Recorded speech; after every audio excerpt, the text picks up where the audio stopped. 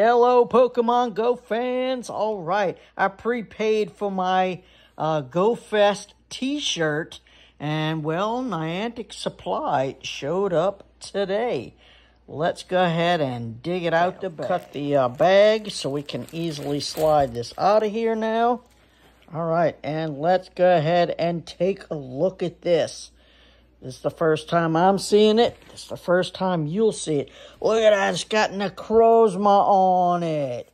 What? Let me unfurl this bad boy.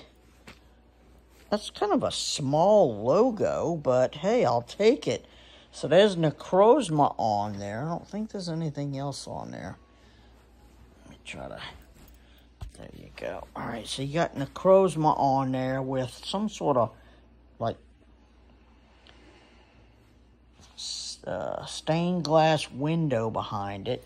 And then, of course, on the back, you have your official Go Fest logo 2024. So there it is, Pokemon Go fans. It has come in.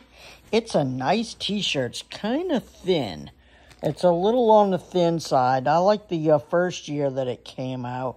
It was kind of thick, so it didn't like hang on you these little thin shirts, they kind of hang on you and, uh, you know, don't really show off, um, you know, your form very well. But it's a neat shirt. I will be wearing this uh, for the in-person Go Fest. Um, yeah, unfortunately, I'm not uh, not wealthy enough to uh, travel around or have a bunch of friends to travel out of the country for all these in-persons.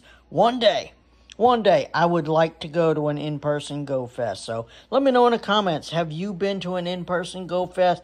Is it all that it's cracked up to be? I get to watch the other YouTubers go, and they, they always have Wi Fi problems, uh, problems with the game loading. But does all of that you know, like like outweigh the just being there and and being freaking uh, you know, like in the mix. That's what I want. So there you go, Pokemon Go fans.